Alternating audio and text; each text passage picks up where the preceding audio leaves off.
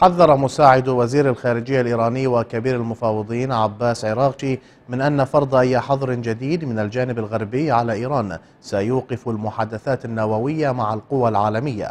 وقال عراقشي في تصريح صحفي أن المسؤولين الأمريكيين يتخذون إجراءات تتعارض مع اتفاق جنيف النووي وذلك للتغطية على مشاكلهم الداخلية وإقناع الكونغرس واللوبيات المختلفة في الولايات المتحدة والتي صاعدت نشاطاتها منذ اتفاق جنيف.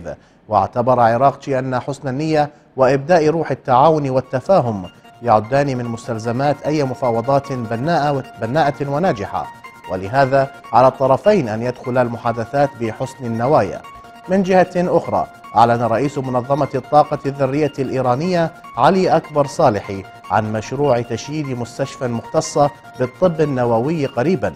وقال صالحي إن المستشفى ستكون مزودة بمختلف التجهيزات الطبية ومنها أجهزة الطب الإشعاعي ومعجل الجسيمات كما ستقدم خدماتها في مجال الطوارئ النووية.